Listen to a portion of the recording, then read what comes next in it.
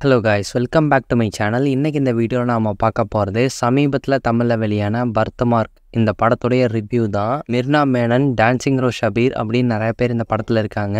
விக்ரம் ஸ்ரீதரன் இந்த படத்தை டைரக்ட் பண்ணியிருக்காங்க. இந்த படத்துடைய கதை வந்து என்ன அப்படின்னு முதல்ல பார்க்கலாம். நம்ம ஹீரோ ஒரு ஆர்மி மேனாக வந்து இருக்காரு ஸோ வார் ஜோனில் ஏகப்பட்ட சண்டைகள்லாம் வந்து பண்ணியிருக்காரு. வார் ஜோன்லேருந்து இவர் வெளியே வந்து நார்மல் லைஃப்பை லீட் பண்ணாலும் அவருடைய நடவடிக்கையில் வந்து சில விசித்திரமான விஷயங்கள்லாம் வந்து தெரிய வருது. ஸோ இப்படி இருக்கும்போது தன்னுடைய மனைவி வந்து ப்ரெக்னெண்ட்டாக இருக்காங்க.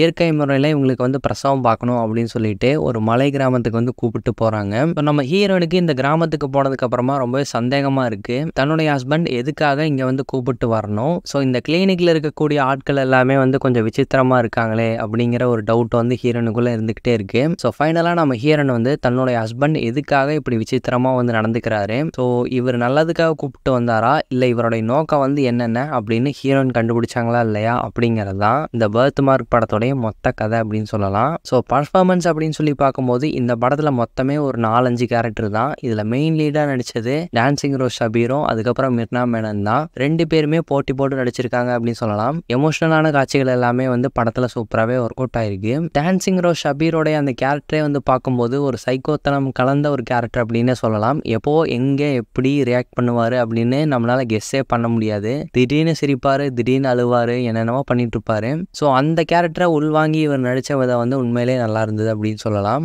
மிர்னா மேனனும் அவங்களுக்கு கொடுக்கப்பட்ட அந்த பர்டிகுலர் ரோலை வந்து நீட்டாகவே பண்ணியிருந்தாங்கன்னே சொல்லலாம். ஸோ இந்த படத்துக்கான அந்த விஷுவல்ஸ் வந்து பார்த்தீங்கன்னா உண்மையிலே செம்மையாக இருந்தது. ஸோ ஒரு சீனரி பார்க்குற மாதிரியான ஒரு ஃபீல் வந்து ஏற்படும். அந்த மலை கிராமமாகட்டும். ஸோ இவங்க போய் தங்கியிருக்கக்கூடிய அந்த ஒரு கிளினிக்கும் பார்க்கறதுக்கு நல்லாவே இருந்தது. அண்ட் இந்த படத்தை பொறுத்த வரைக்கும் பெரிய அளவில் ஒரு ட்விஸ்ட் அண்ட் டர்ன்ஸ் அந்த மாதிரிலாம் வந்து எதுவுமே இருக்காது. முழுக்க முழுக்க அந்த எமோஷன்ஸை பேஸ் பண்ணி தான் அந்த படத்தை வந்து எடுத்திருக்காங்க.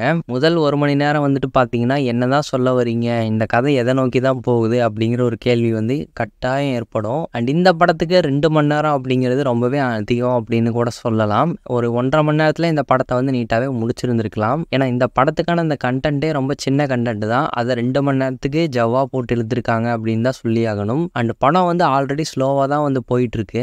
இப்படி போயிட்டு இருக்கும்போது எந்த ஒரு இடங்கள்லையும் அவ்வளோவா சுவாரஸ்யமே இல்லை அப்படின்னு சொல்லி தான் ஆகணும். ஏன்னா இந்த படத்தில் இருக்கக்கூடிய அந்த எமோஷனலான சீக்வன்ஸ் மட்டுமே ஆடியன்ஸுக்கு கனெக்ட் ஆனால் போதும் அப்படின்னு சொல்லி வச்சிருக்காங்களா என்னமோ தெரியல. அதனாலே படம் வந்து ரொம்ப ஸ்லோவாகவும் ஒரு சில இடங்களில் போரிங்காகவும் இருக்குது அப்படின்னு சொல்லலாம். பட் இந்த படம் ஒரு புதுமையான ஒரு அட்டம்ப்ட் தான். அதில் எந்த ஒரு டவுட்டும் இல்லை. விஷுவல்ஸ்லேருந்து எல்லாமே நீட்டாகவே பண்ணியிருந்தாங்க.